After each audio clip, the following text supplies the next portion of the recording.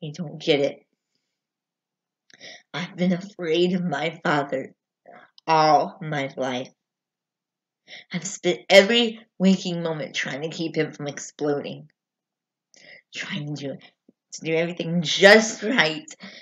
Not just believing, but, but knowing that one day he would kill me. That he'd kill us all. My first memory is the day my brother spilled a can of paint down the stairs. My parents were painting the house. And Ricky thought he was helping, but it was too heavy for him, and paint just went flying everywhere. I held my breath. I don't know why I thought that would help. My father put his fist through the wall. I screamed. Ricky and I started crying.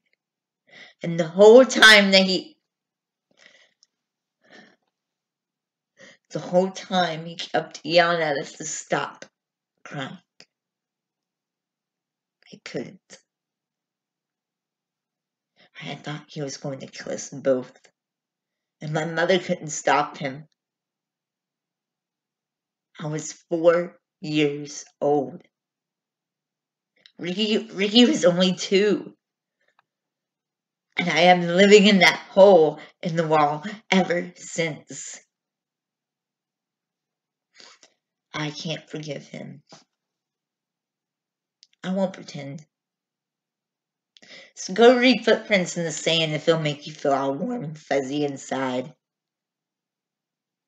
Today, my father is going in the ground. Except I don't remember having a father. The father couldn't do that to his kids.